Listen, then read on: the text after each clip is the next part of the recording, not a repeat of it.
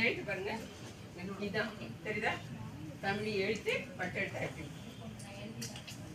நோற்ற இது வந்து இந்த ரா இப்படி நல்லா அழகா இது எழுதணும்.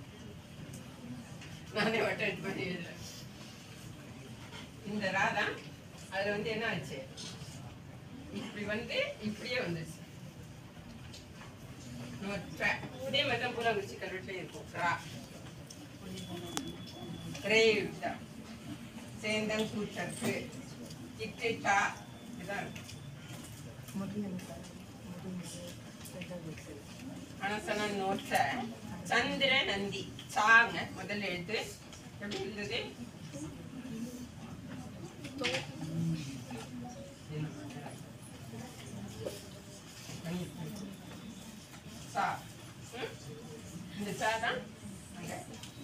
ஒரே மட்டும் சா. இந்த முதல்ல வந்து எழுத்து தான் தீ இந்த தா இந்த தா அதுல தீ. நான் முதல்ல சொன்னேன். முன்னாடி இந்த வளைவெல்லாம் வந்து லெஃப்ட் டு ரைட் இல்லை. ரைட் டு லெஃப்ட் இருந்ததுன்னு சொன்னேன். ஏன்னா கீ போடும்போது இப்படி தான் போட்டோம். அது இப்படி தான் இருந்தது. ஸோ சந்திர இது ராணா நந்தி அதே எடுத்து திருப்பி திருப்பி வருது. அதனால உங்களுக்கு எளிமை தான் சந்திர நந்தி ஆ. இது. அகரம் எப்படி இருந்தது? இப்படி இருந்தது இல்லையா? தமிழில இப்படிதானே இருந்தது. அந்த அகரம் இதை இதை இப்படி எடுக்காம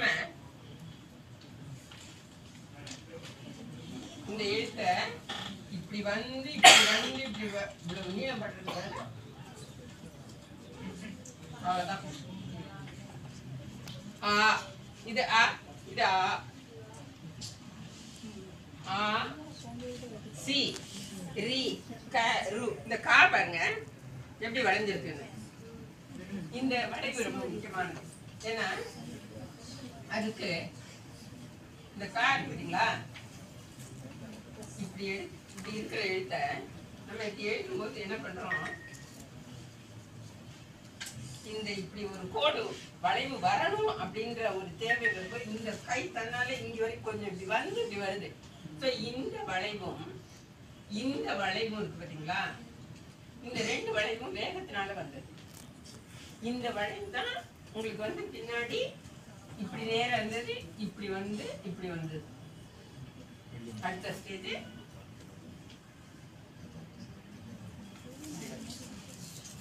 இந்த கார்